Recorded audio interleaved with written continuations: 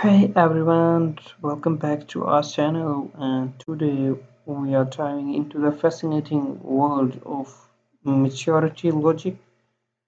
So majority logic might sound complex but it's actually quite uh, intuitive once you grasp the basics.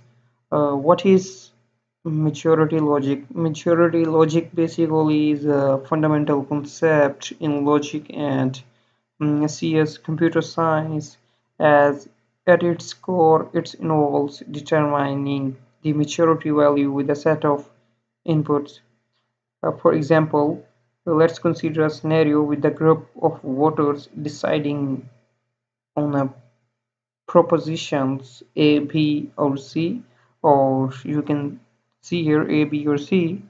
If the majority of the voters choose option A, then A becomes the majority value.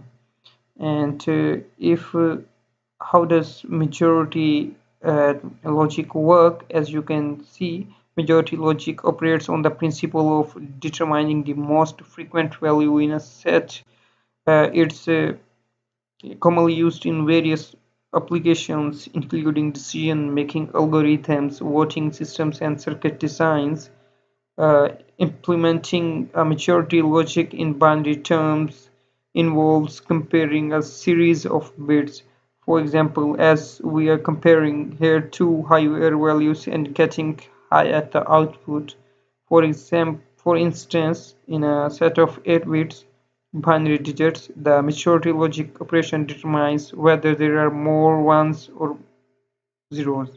As you can see here, the majority are half higher that's why we are getting higher at the output. If we have the majority of lows then we will get the lows at the output. And if we have all the three higher then we will again finally get high at the output because it's a NAND gate and it's work opposite to the input. So you can see here how the majority logic works it always works on the basis of the majority. The same scheme is used in the voting machines uh, and as we discussed applications of majority logic uh, finds applications in voting systems where it's crucial to determine the winning candidate or decision. It's also used in error correction algorithms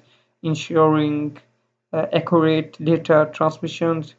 Mm, what are the challenges and limitations of a majority logic? To, despite its usefulness, majority logic is not foolproof and can face challenges, especially in cases of equal distribution or noise interference.